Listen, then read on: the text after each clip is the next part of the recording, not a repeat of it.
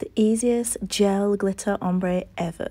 I'm using Vixen gel polish. I'm applying two coats and curing between layers. Cherry Bomb glitter has to be one of my ultimate favorites from my website and I'll link it down below for you guys. I'm just dipping in the edge of the nail and then with the detailer brush, spreading out that glitter, making sure it's laying flat, top coating, and that's it. So simple, so easy, and so effective.